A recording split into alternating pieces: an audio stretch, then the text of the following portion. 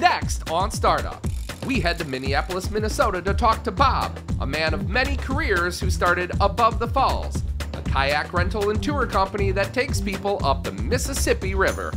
Then we head over to Madison, Wisconsin to talk to Henry, Andrew, and Giotto, three college buddies who love beer and online technology and started Mobcraft, the world's first crowdsourced brewery. All of this and more is next on Startup. It all starts with an idea, and everyone has them. In the world of business, where you choose to take your idea determines where your idea will take you. Baker College is proud to support startup and those who dare to share their ideas with the world. The American small business was built on one thing relationships. And every time a customer walks through the door, a new one begins. Pay Anywhere was built to help entrepreneurs do what they do best. So keep loving what you do, just get paid for it. Pay Anywhere. The Chevrolet Volt, an everyday electric car with gas for longer trips the nature of things to come. Oh, Chevrolet. Find new roads. American Express is proud to support startup and the millions of small businesses that put in the hard work to be open for business in neighborhoods across the country.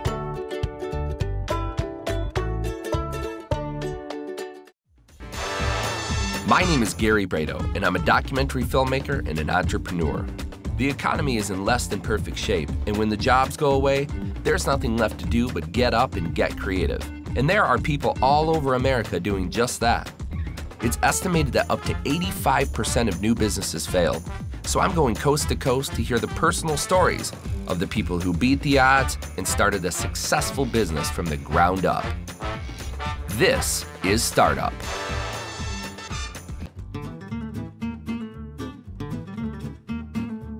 I'm on Helgesen in Madison, Wisconsin, and I'm going to talk to Henry, Andrew, and Giotto, the guys who created Mobcraft, a small craft brewery that lets you decide on the next beer that they're going to release.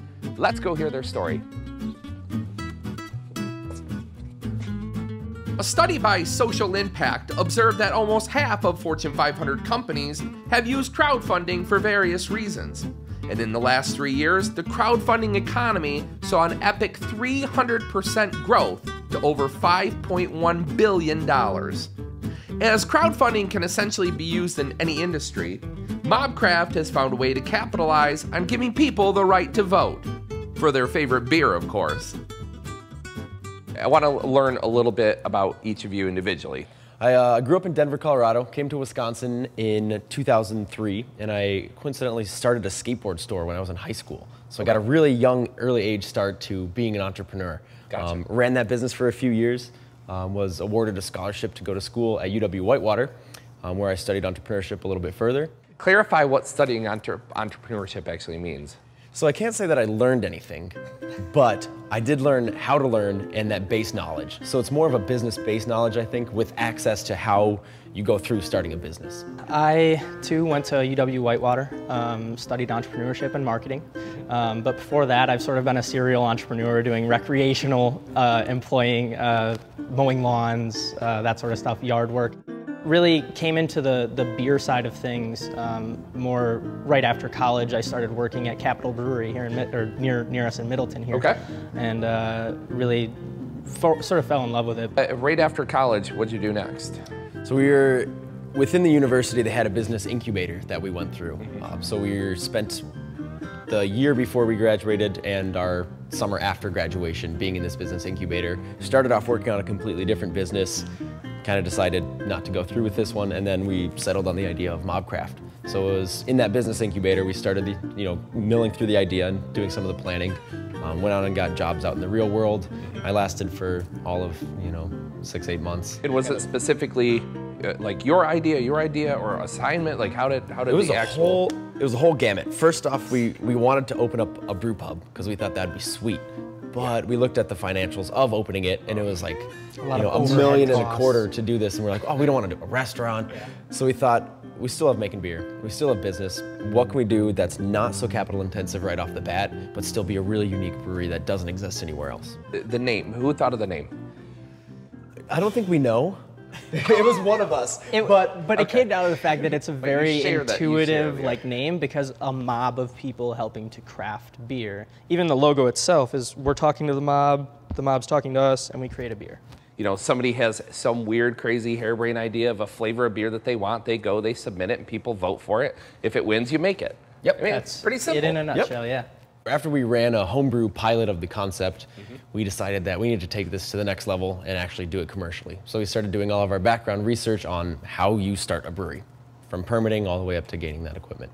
Okay, and when you say the pilot, that's you guys building the, the website and iWeb, mm-hmm. putting it out to people, and then just making like five gallon buckets full of beer and giving it to people. Yep, just doing it What was the a- initial reaction? Oh, it was fun. Like the the first beer that somebody suggested, she we worked in the same office in the business incubator, and she drank a strawberry basil lime tea. That she just muddled up everything and then drank it with a tea. And she's like, "Can you make this into a beer?" We're like, "Yeah, that'd probably be an awesome hefe." So we made this. We used basil for the bittering instead of hops, and then we put you know strawberry and, and lime in it as well. How did it taste? It was tasty. It was good. You're out of the pilot phase now, getting into, okay, we got to turn this into a real thing, commercial business. What happened first? So that's when we started asking some friends who brewed around Madison, you know, how can we make this happen? One guy said, you should go over and talk to Page at House of Brews. He only brews about two days a week. He's probably got excess capacity that you guys could move in there. So that's the building that we're standing in right now. We came in here about a year ago and brought in one seven barrel fermentation tank to start doing this again on a sort of like a pilot model instead of all the overhead of starting the brewery just putting in one tank with um, you know with something that we could afford to buy on our on our savings and then just kind of get start building a buzz around the concept After you were able to set up shop in here, uh, I would assume that you'd take that five gallon bucket and just get scaled up to the large fermentation tank, right? yeah kind of there's a couple of things that you factor in hop utilization in a bigger tank with more surface area boiling temperatures does, does a little bit different so it's not an immediate Chemistry. scale up but our brewer and other founders a microbiology guy and just knows it like the back of his hand and I actually met Giotto and Henry through my brother who went to school with them. Me and my brother got Henry into homebrewing, and so we kind of like taught him how to make, we helped him make some wine, and then we taught him how to homebrew in college, and I guess that's kind of really where it all started. So are you are, are you doing what you love? Are you you seem pretty happy about what you're doing? Oh my God, yes, absolutely. Dream come true, huh? There's nothing I would rather be doing right now. There's a lot of different fates that that uh, that exist for people when you come out of college or when you're doing things. What am I going to have to do for work? What's my job? I knew what I gonna wanted to do already. I knew exactly what I wanted to do. Can I try stirring it? It's One of, Absolutely. it's, it's one of my bucket list things. No, here. absolutely. Here. get into it. I've at it. So I'll dump and you can keep mixing. Okay. And where do you uh, where are you sourcing these ingredients from? Um, as locally as possible, as often as possible. What do you see for the future here for you guys? Here personally, or Yeah. You, well, you personally and also for Mobcraft. I see nothing but good things. Um, at least I hope so. Um, I'm not looking to get rich or famous. I'm just looking to make a living.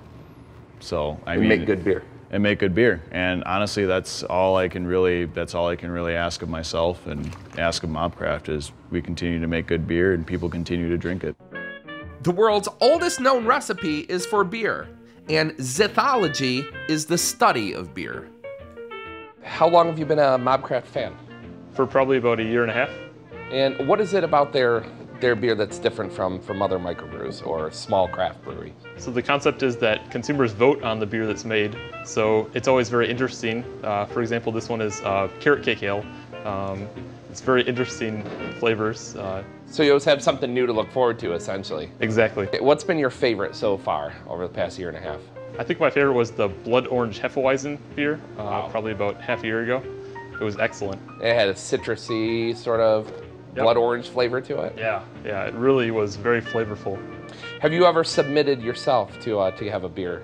No, Made. I have I have not. Uh, I've been meaning to at some point, but so far I've just been voting. What do you think about the beer? Have you? What's your favorite one so far? The favorite one is still to be brought out. It's going to be the Mr. T, because that's my recipe. But oh, uh, you, you won! I won one of them, yeah. no kidding. All right, this takes things to a whole new level now. Do you think this is a really cool, unique sort of model that's going to catch on in other capacities? I truly believe so because you see it in, in just overall beer forums. Uh, like I said on Facebook, there's different ones, and everybody's trying to do something different with different ingredients. I mean, Right. there's, there's always something that you can try out. uh, and they really do something different. I mean, I when I heard about the carrot beer, I was like, why would you do that? But then I tried it and I was like, it was really awesome. So um, getting all different flavors and put them together into a very solid beer, that's, that's a big challenge, but I think the public is also willing to taste it because it's something new. So I can go onto your website, I can find a beer, I can click it, pay for it, and it'll be shipped to my doorstep. Mm-hmm. Yeah. So there's two ways. One is through the voting round. Voting round happens from the 1st to the 21st of each month. Okay. We take the beers that are on our website, people cast their vote by making a potential pre-order of that beer. Okay. So if they want that one, they'll say, yeah, I'll pay 25 bucks for this if it wins. People rally back and forth, you know, some guys will you know, blast it out to their whole group of friends, like, hey, this is my beer, let's get this win, you know, make this one win. Sweet. And then once the vote round closes, then we ship the beer out. Is this a tech company or is it a brewery? It's both. It's somewhere in between. It's both. Obviously, social media is, I mean, they thought it was a fad when it first came out, and then it, yeah. it survived the fad stage. It's a very solid way to do business, and if you're on the front end of it, sort of like we are, being being advanced users of it and, and taking advantage of everything that it offers, you can sort of adapt to the new ways that social media is evolving. So within like two days of us putting a beer out on the market, we have hundreds of check-ins. And awesome. so we can see that, oh, this this beer is getting like consistent four-star ratings. This is one that we got to keep brewing and make again.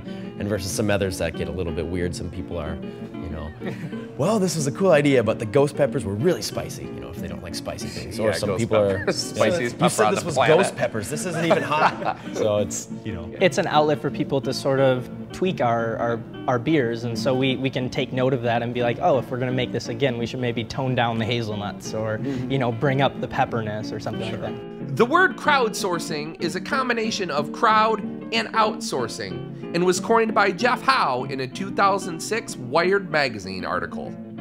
What has been the biggest hardship that you guys have had to face over the course of this? Oh man, my my hardest one was making this guy quit his job like two days ago. Yeah. two days ago, congrats. Literally quit on Friday, yeah. So how's it feel? Um, it was scary.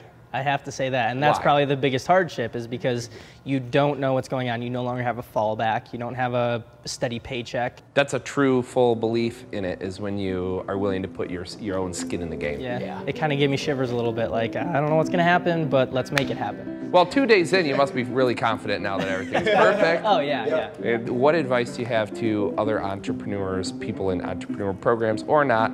Yep. incubators or not, maybe just the kid that uh, hates his job and would love to do anything else. What advice do you have for these people? So I have I have three nuggets. Three One nuggets. Okay. is that let your passions drive you. I've never been successful at a business that it hasn't been driven by something that I really love. Yes. Two is that it's a lot of work. Your job, it's not easier to be an entrepreneur. No, no. We're here for 18 hours a day consistently. You know, so it takes a lot of work and you gotta be ready for that and be ready to make that commitment. And the third one is create a minimum viable product. Explain you know, what you mean by that. So you don't want to stress yourself out about how do I build this thing to be perfect so it can be sold. As quickly as you can, acquire your customers with the product that they will buy and establish that you can sell it. Well, thank you so much for your time. Likewise, time for product samples. Yes, yes, definitely. there are a million ways to start a business, but how did Mobcraft do it? Let's find out. They started with a combined $30,000 in the bank and a credit score of 750. They earned $56,000 in their first year, operating at a slight loss. They spent around $280,000 to open their business, that they acquired through a private investor and, ironically, a crowdfunding campaign.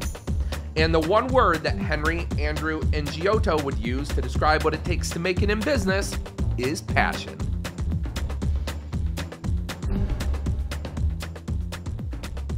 You need to be wise to be a good entrepreneur.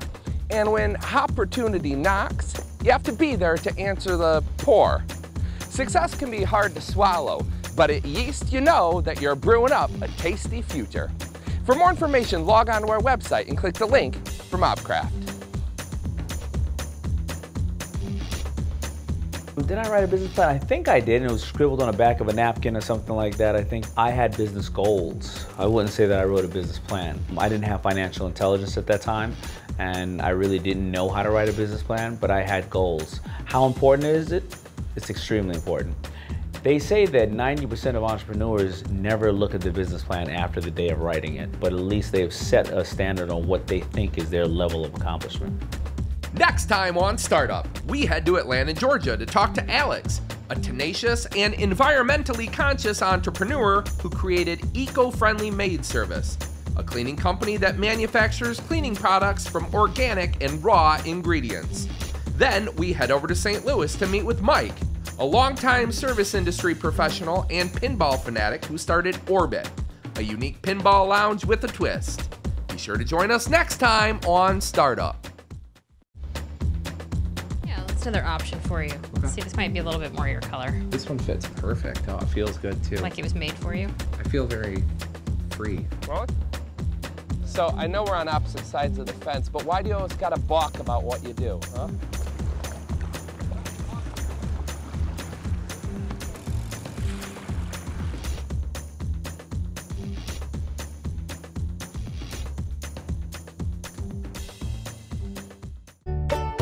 American Express is proud to support startup and the millions of small businesses that put in the hard work to be open for business in neighborhoods across the country.